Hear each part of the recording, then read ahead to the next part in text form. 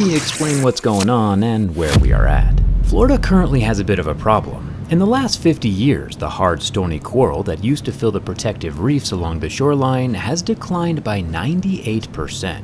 The dark patches of rocks and seagrass you can see below the boat used to be covered with rock-hard colorful corals as far as the eye can see. But now, only 2% of our stony friends remain. And yeah, it does sound depressing, and it is, don't get me wrong, but today we are on a mission to help bring these reefs back from the edge of extinction, with the largest non-profit reef restoration effort on the planet. They're called the Coral Restoration Foundation, and so far, they are succeeding, in part thanks to something called the Coral Tree. Today we're gonna see how it all works. Plus, as a bonus, for every like this video gets, Insta360 will donate $1 to the Coral Restoration Foundation to help them keep planting coral and save the reefs here in Florida. So hit that like button as fast as you can, and thanks to Insta360 for sponsoring this project. All of the underwater footage you see today is filmed with the Insta360 X5 on the invisible selfie stick and the Insta360 Ace Pro 2 action camera that I have strapped to my wrist. Our goal today is to harvest some coral from these coral trees and transplant it back into the wild. Corals are kind of a strange cross between a plant, an animal, and a rock.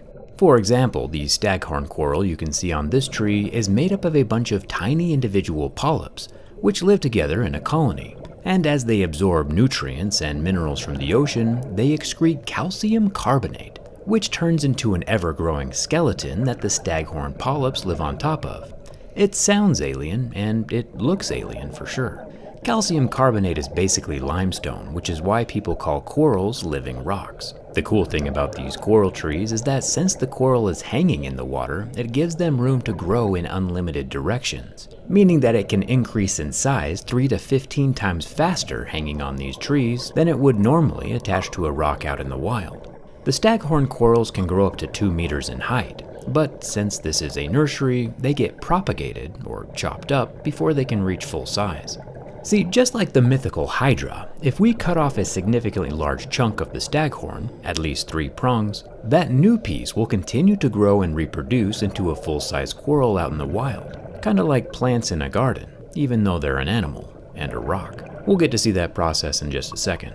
You might be like, what's the big deal with the coral though? Like why does this rocky plant even matter? Coral reefs support a quarter of all marine life, and you kinda have to give the small fish somewhere to live if you want the big fish to have anything to eat. And when I say big fish, that includes humans, since more than 3 billion people in the world rely primarily on the ocean for their food. Plus, the oceans supply the globe with 70% of our oxygen, so if you're a fan of oxygen, the health of our oceans is probably something worth paying attention to. The Coral Restoration Foundation has about 500 of these coral trees, each growing different types and varieties of coral, covering about one and a half acres of the seafloor. Seeing it from the sky gives its scale some perspective. This is the largest coral nursery in the entire world. And, depressingly, there is now more staghorn and elkhorn coral in human care and nurseries like this than in all the rest of Florida's wild reefs combined. Now we just have to get them from this nursery back out into the wild. The PVC coral trees are anchored into the sea floor and use floating buoys to help keep them erect. The suspended structure allows for optimal water flow for the coral growth while still being able to sway with the current so the baby corals don't get damaged in any of the storms. Every now and then, the buoys will lose their floatiness and need to be replaced, so the team brings down new buoys to pop the trees back up right again. There's a lot of work involved to keep the nursery operational. You also might have noticed that the colors 30 feet down in the water are different than the colors we would see up on land. I wrapped some electrical tape around my selfie stick so you can see the difference between the color above water and below water. The first color we start to lose due to the lack of sunlight is pink, and the reds are starting to disappear as well the deeper we go. To be fair, Insta360's underwater color science algorithm called Aquavision 3.0 does a good job of bringing a lot of those colors back. You also might have noticed that there's a noticeable lack of talking underwater. All of us here have to use hand gestures or written notes to communicate, since our mouths are attached to scuba equipment. The nice thing about the Insta360 X5 is that since it's capturing everything, everywhere, all at once in 360 degrees, I don't have to worry about getting the action in frame the first time around. The camera sees everything, which is especially useful if we need to stay on the lookout for sharks. The aluminum tank on my back holds about 80 cubic feet worth of air, which allows us to breathe underwater for about an hour or so, depending on how much we are swimming, working, or lifting, since of course all of those activities use up more oxygen. You might think that lifting the heavy crates of rock coral would be difficult underwater, since rocks are heavy, but built into our scuba diving vests is something called a BCD, or Buoyancy Control Device. It's like an inflatable life jacket that can be filled with air from our tanks to make the swim back to the boat easier. Planting coral is another strenuous activity, but you'll see how that happens in a second. One of the things I was very nervous about on this dive, besides asphyxiation of course, was looking up and seeing the underside of the boat. For some reason that's just a phobia that I have in my head. Let me know if this view scares anyone else. I might look calm and collected on the outside, but internally I am freaking out.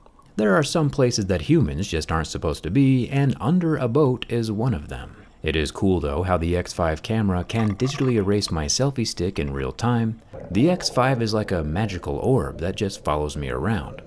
You might think that corals are delicate creatures that collapse at a glance, but the reality is they are reasonably robust and can even survive out of water for brief periods of time. The two coral species we are replanting today are the staghorn coral, which we collected earlier, and the elkhorn coral, which just like their names imply, look both like staghorns and elkhorns. Scientists are pretty creative when it comes to naming things. The elkhorn coral starts on a little ceramic pad, and I'll show you more of that in a second. The coolest part about that whole thing was they let me snip the coral, and uh, the pliers they had were not near big enough to do the coral snipping. Um, but that was really cool. The coral, it's like dry, but at the same time, as soon as you let it go, it has like this slimy feel to it. Not that you should ever be touching coral, um, but we have to transport it, obviously. All right, Alex, what are you doing right now? So these are some of our elkhorn corals that we've been growing in the nursery. They were a gift from the Florida Aquarium. They spawned them, their aquarium system there, and then started growing them out. They gave them back to us, and they've been acclimating in the nursery. We're just going to plant that entire thing on the reef. The coral will grow over the cement tile, it'll grow down onto the reef, and it will start to form a, a natural looking colony. Within a few years, you'll get a nice, you know, one to two foot tall elkhorn colony as they grow up and out and start to form that, that branching structure. These are our staghorn coral. This is the cousin species to the elkhorn. These guys are a little bit older. They've been growing in the nursery a little bit longer, and so they've really got their branches going. It's already starting to slime on me because I've got him out of the water. He's starting to get that protective mucus on him really getting gunky on me. but it's totally natural, it's a protective coating. These corals have evolved to actually survive low tides where they stick up out of the water in really shallow areas. And so that mucus is there to keep them protected like a sunscreen from the dry air and, and from the harsh sunlight. Nikki, what are you doing now? So we're actually taking the excess tile off of the coral. That way the coral when we put it onto the reef, it can just grow straight down and onto the reef instead of having to grow over the extra um, piece of tile and then onto the reef. After the ceramic pads are cleaned up, they go back into the cooler as we travel to our planting location and get back in the water. All right, two-part epoxy coming in. Here you go, Nikki. I'll pop the X5 back into its dive case. You can see it has a lens on either side to get that full 360 degree perspective. The camera itself is waterproof to 49 feet, but with it being saltwater out here in the ocean, I'm using the invisible dive case which keeps it protected down to almost 200 feet. All of course while filming in 8K resolution. Yep.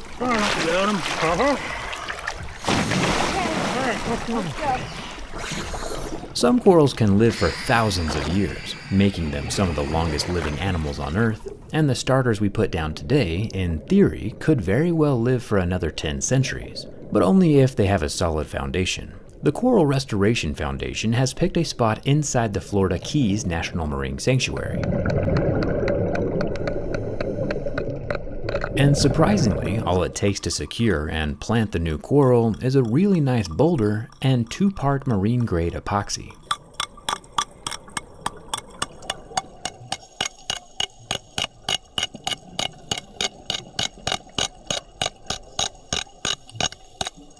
The hammer helps score the surface of the rock and give the epoxy something to grip onto.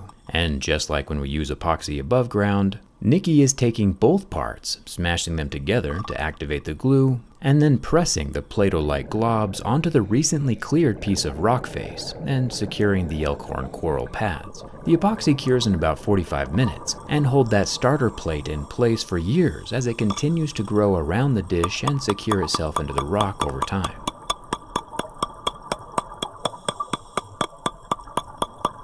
The staghorn coral is a bit different. Since it's all spiky and stuff, Alex and I clear three separate points on the rock where the prongs can touch the boulder.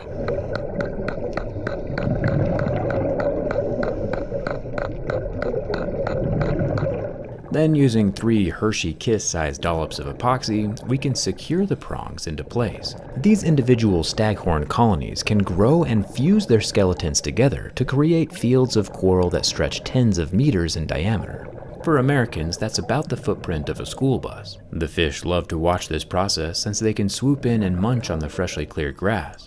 I kept looking for Nemo, but I never found him. I hope he's doing alright. Each staghorn starter is basically an apartment building full of these little polyps that are now able to survive and thrive all on their own. It's kind of like a really slow motion inverse ant colony, or Iron Man's nano armor if he can wait a century or two between suit ups. It's incredibly relaxing work, minus the whole need to keep track of your oxygen levels. One thing I didn't notice the first time around was this shark absolutely munching on half of a crab.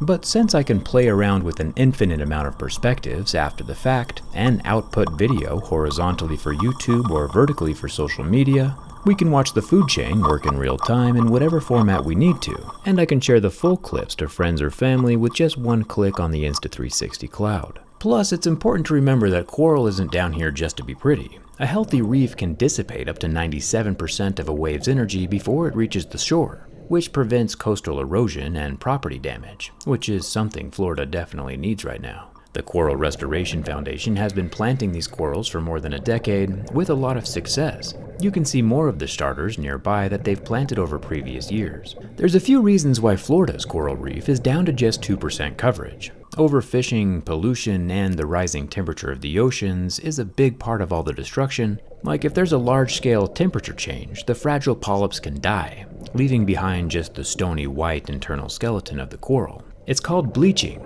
and these bleaching events are happening more and more often. The global reef populations across the planet aren't faring much better, and we've lost about 50% of the global coral reefs since the 1950s. And you might be like, hey Jerry, that's ultra depressing. And what's the point of all of this if we're just planting the coral right back into the same hot ocean that killed them in the first place? And I'm glad you asked. Personally, I think things are changing. For example, the Florida Keys National Marine Sanctuary was recently established back in the 90s, basically yesterday on the timescale of corals. And another thing I'm really excited about is the High Seas Treaty, which is an international agreement already signed by 136 countries, which protects 30% of the world's ocean by 2030. Protection is a good thing, and for reference, currently only 3% of the world's oceans are officially protected. Public opinion and public perspective is rapidly changing, and big solutions are in motion. The High Seas Treaty will very quickly shift the health of the oceans and our corals in a positive direction, and we just need to keep these corals alive long enough for that change to happen. Doing something is far better than doing nothing. And of course, documenting this whole process would have been impossible without the Insta360 X5 and the Ace Pro 2 on my wrist. These extremely well-built and durable action cameras help us get into places and show things from a perspective that until now, humans can only dream of. The first 50 people who buy an X5 with the link in the description will get a free invisible selfie stick with their purchase. And hopefully, we've documented the start of a new era of coral growth, and not the end of what used to be. There's a storm coming, but huge thanks to the Coral Restoration Foundation for what they do and for letting us come film the project. Also, massive thanks to Insta360 for their huge donation. If you want to get a cool camera that films epic stuff, I'll leave a link for this X5 down in the video description. And thanks a ton for watching. I'll see you around.